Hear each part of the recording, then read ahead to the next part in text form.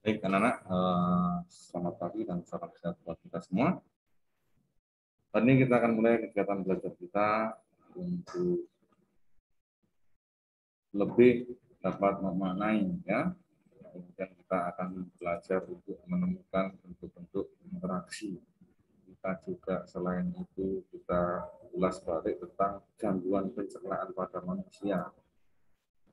Dan setelah itu kita juga akan memperdalam kemampuan kita, wawasan kita, dan pengetahuan kita tentang siswa Pancasila. Oke, kita awali kegiatan kita di pagi hari ini. Kita akan memberikan pertanyaan yang baik.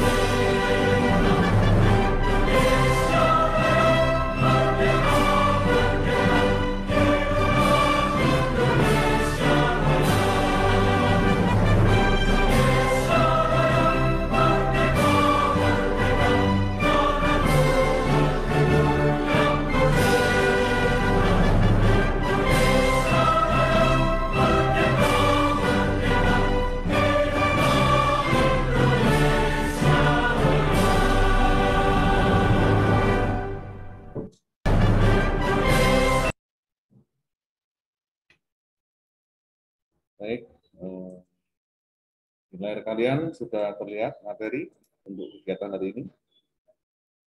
Sudah? Halo, sudah? Belum?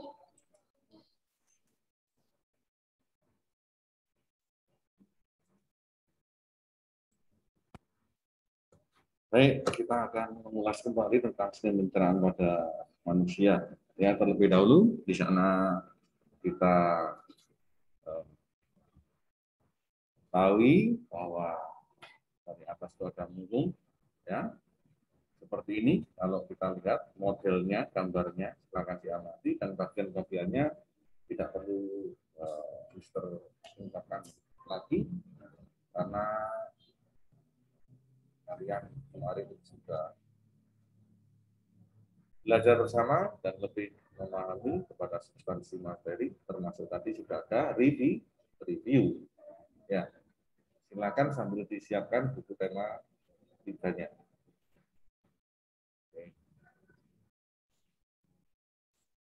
Nah, masuk pada gangguan pencernaan. Ada empat gangguan sistem pencernaan yaitu gangguan pada mulut, gangguan pada lambung, gangguan pada usus, dan gangguan pencernaan pada eh, karena infeksi. Ini harus kamu ketahui. Ya, dikategorikan ke dalam empat, yaitu gangguan pada mulut, gangguan pada lambung, gangguan pada usus, dan gangguan pencernaan pada selaku perintah perut dan radang umbilikalin atau appendicitis itu karena infeksi. Nah, contohnya apa? Yang gangguan di mulut seperti apa? Sariawan dan lain-lain ya. Nanti kamu lihat di gambar itu kamu Silakan ya. sakit gigi, kalau giginya sakit nggak bisa makan enak. Ya enggak? Gangguan pada lambung. Pada lambung ada rusaknya sel-sel kelenjar getah. Ada usus, ada diare, sembelit, konstipasi, dan lainnya. Termasuk kemarin sempat kita ungkap bahwa untuk mencegah terjadinya diare itu kita bisa lakukan dengan membuat larutan ora oralit. Terbuat dari apakah larutan oralit itu? Siapa yang bisa? Terbuat dari apakah larutan oralit itu? Ya, anak-anak yang lain dari apa larutan oralit? Dibuat dari apa larutan oralit itu? Lo? Dibuat dari gula dan garam. Gula dan garam. Tanpa air, gula sama garam dicampur di makan atau gimana? Dilarutkan, berarti kita gunakan air.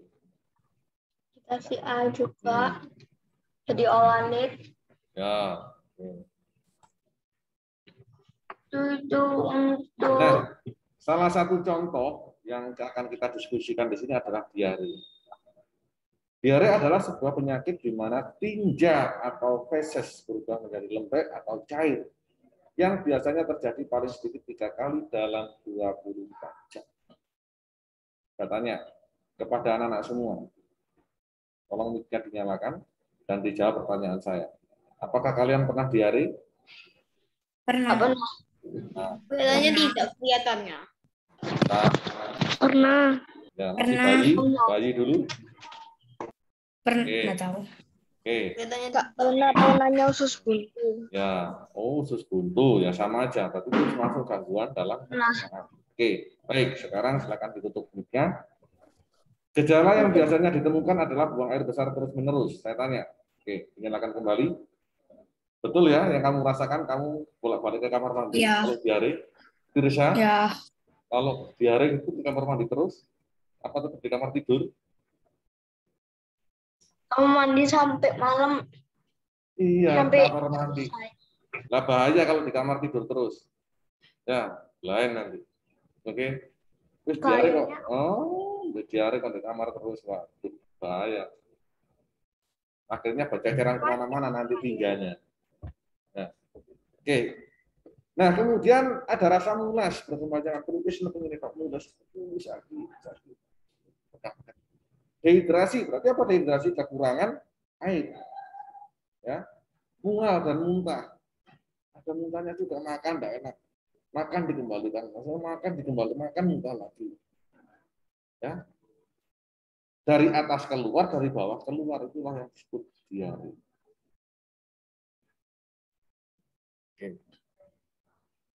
Oleh sebab itu kita harus selalu makan makanan yang sehat. Serostomia, istilah bagi penyakit pada rongga mulut yang ditandai rendahnya produksi air ludah, kondisi mulut yang kering membuat makanan kurang tercerna dengan baik. Kamu lihat kalau pernah melihat bibir orang pecah-pecah, itu juga bagian dari suatu gangguan pencernaan. Sehingga makanmu tidak enak. Lihat diamati dalam gambar itu nanti kamu lihat cerminmu, lidahmu sama samakan dengan apa yang ada di gambar ini. Lidahmu memiliki gangguan enggak? Nanti kamu nanti kamu lihat sendiri. Ya, silakan hal penting bisa lang, eh, langsung ditulis dicatat. Kalau itu penting, kalau nggak penting nggak usah dicatat. Karena kamu pasti sudah punya tanggung jawab sendiri. Jangan sampai nanti ditanyakan kamu nggak di nggak bisa. Kalau itu rasa, kamu rasa penting, ditulis. Ya, oke. Selanjutnya ada tukak lambung. Terjadi karena adanya luka pada dinding lambung bagian dalam. Maka secara teratur sangat dianjurkan untuk mengurangi risiko timbulnya tukak lambung. Kamu lihat tukak lambung. Jadi tukak lambung itu luka pada dinding lambung. Di dalam lambung itu ada dinding. Kalau itu sampai terluka, uh, sakitnya bukan main. Ya. Oleh sebab itu kita harus jaga lambung kita dengan Baik, gimana caranya? Lah itu yang harus kamu pikirkan. Gimana kamu cara kamu? Ya, ini proses belajarmu di situ. Gimana cara supaya kamu menjaga organ pencernaanmu tetap sehat. Oke, selanjutnya penyakit sistem pencernaan ada gastritis dan appendicitis, peradangan usus buntu, dan peradangan dinding lambung. Disebabkan oleh infeksi mikroorganisme tertentu atau kelebihan asam lambung. Berarti sama asam lambung apa? Disebut apa asam lambung? Bahasa lainnya apa? Asam lambung bahasa lainnya apa? Hah? HCl. Ya. HCl. Oke. Baik. Kita masuk pada PKN. Apa hubungannya gangguan pencernaan dengan PK? Sebagai makhluk manusia, makhluk yang sempurna, tapi kita memiliki cara berpikir yang baik. Nah, kalau kita berpikir yang baik, otomatis ya kita jaga itu bagaimana caranya menjaga organ pencernaan kita dengan baik itu juga sama dengan menghargai. Nah, anak-anak selanjutnya eh, Mister menginginkan kalian benar-benar bisa memahami dan memaknai bagaimana sebenarnya siswa Pancasila itu. Seperti apa sih anak-anak yang diinginkan Mister Alpon itu? Kelas 5B ini loh. Kayak bagaimana? Nah, ini penting. Ya. Pancasila itu ada tiga landasan, yaitu landasan etimologis, historis, dan terminologis. Berasal dari mana? Bahasa Sanskerta. Istilah Pancasila. Artinya apa? Ini kan kemarin sudah nih di tema berapa? Tema satu kalau tidak salah. Ya, tema satu sudah kita ulas kan ini. Sudah kita ulas. Baik. Terdapat dalam kitab Kertagama karangan Empu Prapanca. Kalau kalau istilah Bhinneka Tunggal Ika, dengarkan, Bhinneka Tunggal Ika terdapat dalam kitab Sutasoma, karangan Empu Tantular. Ini bicara. Tapi kalau Pancasila, ya, ini di dalamnya ada di buku apa di buku negara kertagama karangan buku Prapanca pada zaman kerajaan Majapahit. Dan ya, kamu lihat buku negara kertagama, itu miliknya Amu Prapanca, kalau Sulasoma itu miliknya Amu Antula. Lima batu sendi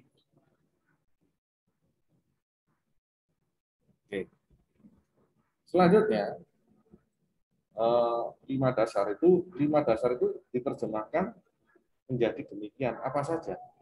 Sila pertama berbunyi ketuhanan yang maha esa. Artinya kita itu makhluk yang beriman. Kita makhluk yang beriman. Kalau kita beriman,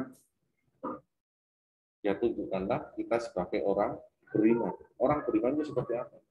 Kalau kita punya kewajiban memiliki rasa syukur kepada Tuhan Yang Maha Esa, ya harus kita sempatkan untuk mengucap syukur dan berterima kasih dengan cara seperti apa? Berdoa, sembahyang. Ya.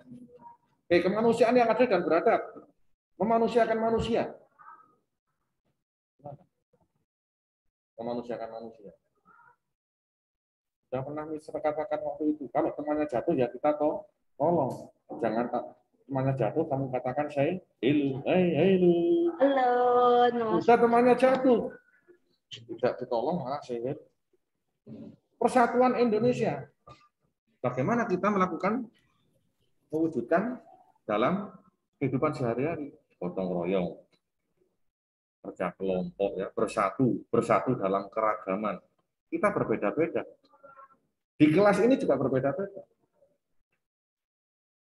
Evelyn, rambutnya agak gelombang, Tirsa lurus, terus Putri anak keritingnya, terus Pandu jebrik, Irfan, terus Irfan, ke belakang,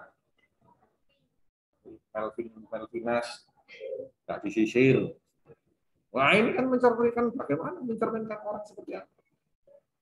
Nah persatuan Indonesia kita harus bersatu, kompak, tidak membeda-bedakan. Rakyat yang dimiliki oleh kesenangan dalam permusyawaratan perwakilan. Contohnya gimana? Contohnya kita lakukan musyawarah, kita ngomong, kita ngobrol, kita diskusi kerja kelompok itu tidak boleh dimonopoli. Oh aku yang pinter, kamu tidak iso. Ini loh jawabanku seperti ini. Tidak baik, itu bukan kerja kelompok. Katakan lagi. Kalau kamu kerja kelompok hanya berdasarkan satu orang, itu namanya kerja pribadi, bukan kerja kelompok. Jadi kamu sudah tidak menghargai teman kalian. Jelas tidak dari sini? Semuanya itu? Jelas? Jelas. Jelas. Maka kalau kerja kelompok, padukan pendapatnya Wirya seperti ini, pendapatnya si Malvinas seperti ini, pendapatnya John K seperti ini. Itu dipadukan. Itu namanya kerjasama. Ya. Bukan mengatasnamakan pribadi. Tidak benar. Adrian lah umat kayak lo. Kamu mendengarkan, Mister? Apa yang disampaikan, Mister? Apa yang disampaikan, Mister? Nah. nah. Itu. Jadi, dalam diskusi kelompok, kita harus bermusyawarah. Bagaimana cara bermusyawarah yang baik? Acungkan tangan ketika mau berpendapat. Sampaikan dengan bahasa yang baik, santun. Tidak memotong pembicaraan orang lain. Saya mister, saya mister, belum ditunjuk sama mister, sudah ngomong jawabannya. Seperti tadi diskusi, itu nggak benar.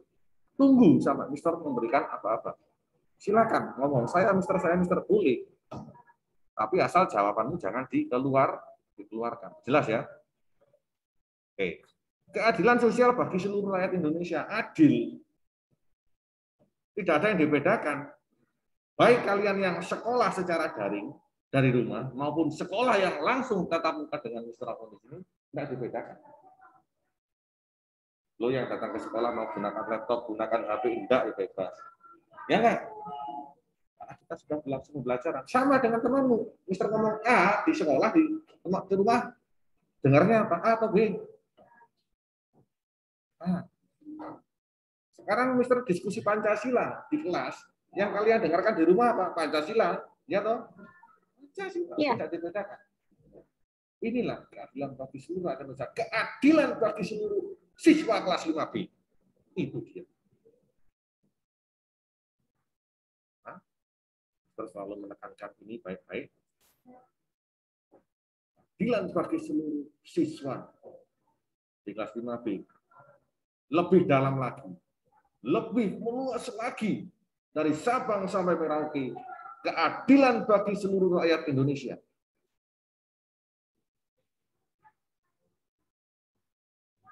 Kita itu bangsa yang kaya, ya. Bangsa kita itu kaya raya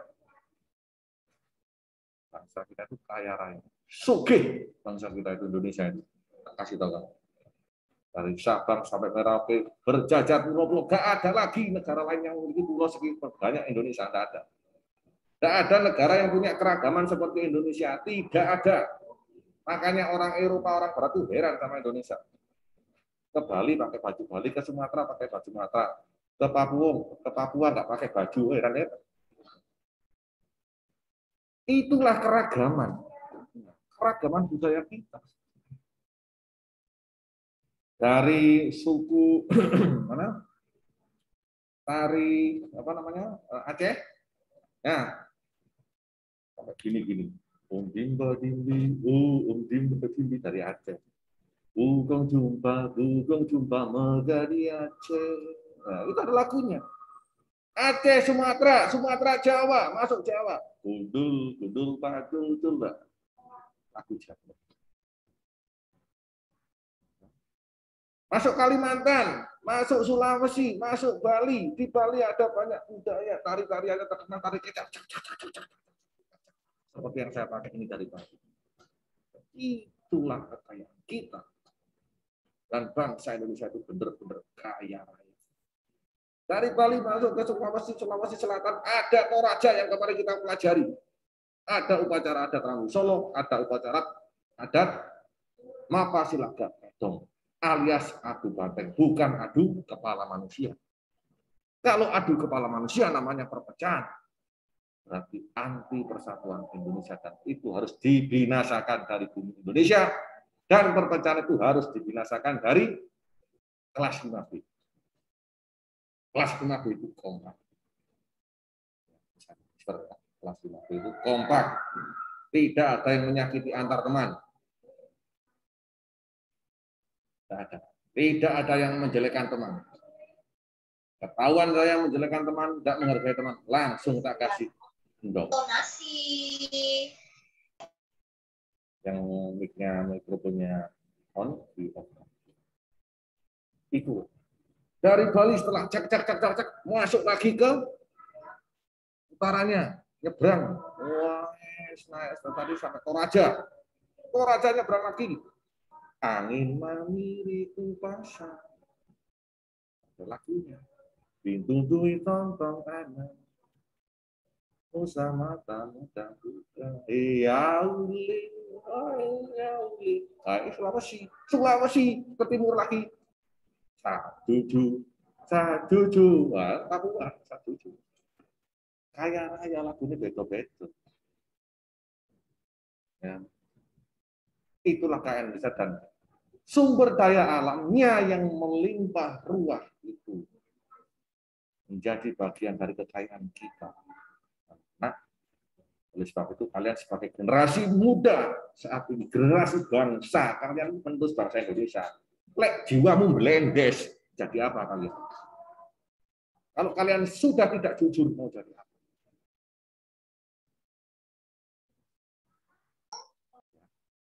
Kalau cara bicaramu kotor, cara bicaramu gak benar, mau jadi apa?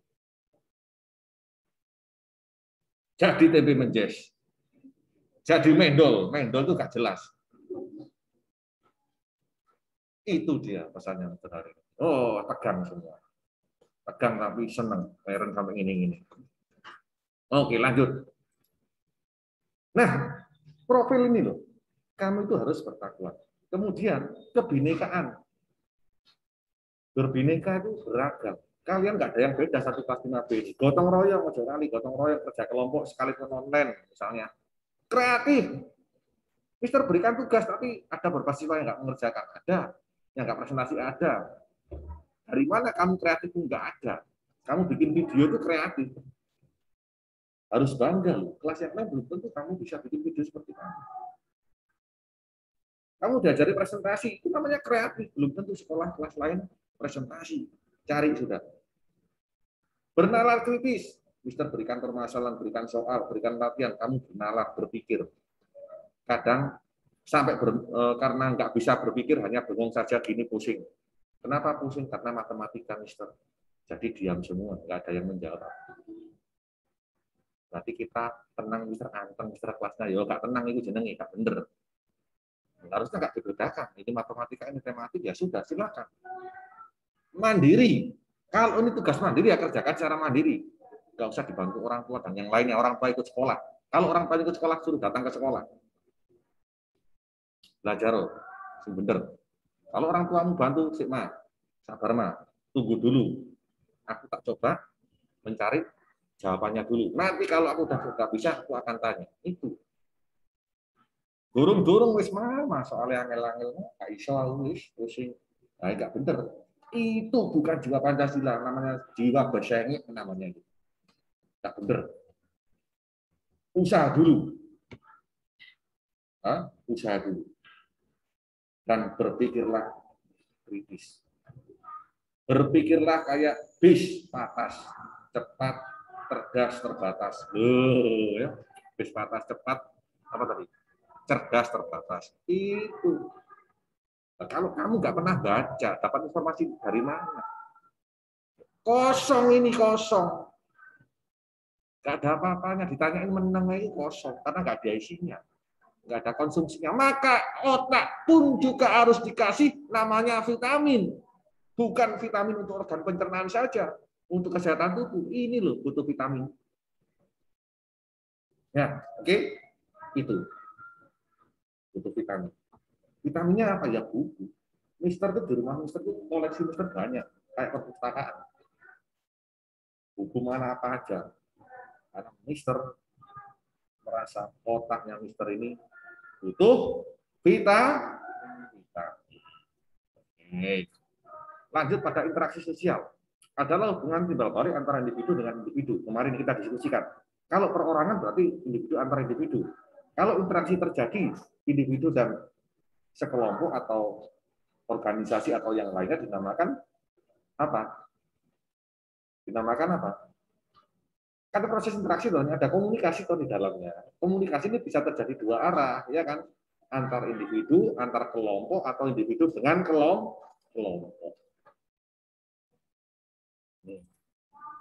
Nah, ciri-ciri ciri-ciri individu bagaimana? Ciri-ciri individu. Jumlah pelaku ada dua orang, adanya komunikasi antar pelaku, adanya suatu dimensi, dan adanya tujuan yang tidak dicapai. Oke, faktor-faktor yang terjadi antara lain apa? Nanti kita kamu pelajari di uh, classroom. Ini nanti akan saya berikan ya. Di sini kita ketahui bahwa faktor-faktor terjadinya interaksi sosial itu ada imitasi itu meniru. Contohnya, Mister begini, kamu ikut begini namanya meniru. Berarti kamu mengimitasi Mister. Mister apa joget ini ini terus kamu ikut gini-gini. Kamu ada orang TikTok, terus kamu melok TikTokan berarti kamu terimitasi. Itu namanya ya.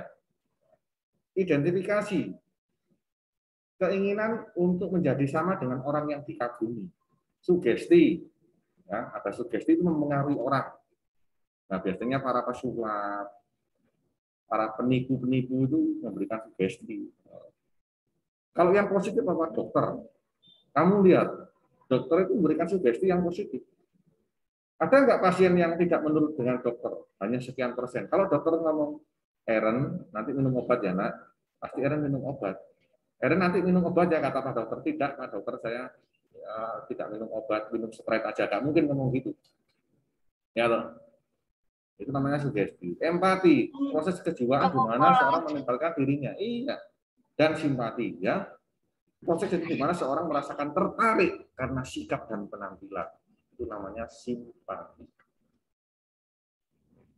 Yuk. Faktor-faktor pendorongnya. Interaksi sosial. Ada tadi sudah ya nih ya. Oke. Bentuk-bentuknya apa? Contoh-contohnya ada yang mengarah pada kerjasama, ada yang mengarah pada perpecahan. Hati-hati. Interaksi itu ada yang mengarah pada kerjasama, ada yang perpecahan. Contoh, kalau yang mengarah pada kerjasama, kompak satu kelompok. Kalau yang mengarah perpecahan, begini satu orang. Hihihi. Ojo ambil iku, iku gak ngerjain yo. Ojo ojo ojo, iku gak ngerjain. Iku jenenge disasosiatif mengarah pada perpecahan. Tidak benar itu, tidak boleh seperti itu. Jelas? Jelas? Baik. Nah, sudah selesai anak-anak, ini bagian dari PS, nanti harus kamu eh, kerjakan secara bertugas secara mandiri ya, kerjakan secara mandiri. Baik, cukup sekian uh, diskusi kita dan pendalaman materi khususnya, diskusi review dan pendalaman materi tema tiga ini benar-benar mantap jiwa materinya ya. Kalian semuanya penuh semangat. Oke, apakah ada pertanyaan? Silakan bertanya. Silakan bertanya jika ada pertanyaan. Silakan dibuka mic-nya semua. Halo. Apakah ada pertanyaan? Ada pertanyaan? Tidak. Tidak ada. Tidak ah, ada. Tidak. Kalau tidak ada, berarti kita selesai sampai di sini. Kita nanti masuk muatan matematika, atau uh, matematikanya nanti aja nanti Mister Info. Kamu kerjakan ini dulu. Kemungkinan nanti matematika masuk pukul 10 ya seperti kemarin. 10, berapa? 10 kurang aja, 10 kurang seperempat. Ya. 945 jadi. Ya, 945. Sekarang kamu istirahat 15 menit. Kemudian mengerjakan PS tadi 45 menit. Oke, jelas ya? Jelas. Terima kasih anak-anak atas waktunya dan tetap semangat seperti Mister ya, sudah contohkan yang baik-baik tadi dan itulah modal jiwa Pancasila dan modal siswa Pancasila. Kelas 5B jawaban siswa Pancasila. Kelas 5B. Loh, dinyalakan mic Kelas 5B siswa Kelas Pancasila. Siswa Pancasila. Oh, Pancasila. Semua, semua, semua kompak. Kita hitung. Satu, dua. Dinyalakan dulu mic-nya. Mic-nya dinyalakan dulu semua. Kita hitung. Siswa Satu, Pancasila.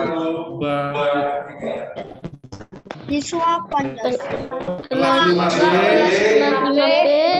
5B Pancasila. Pancasila. siswa Pancasila. Oke, terima kasih. Eh, akan diupload di Classroom ya. Bahan ajarannya Ya. silakan dibuka. Oke.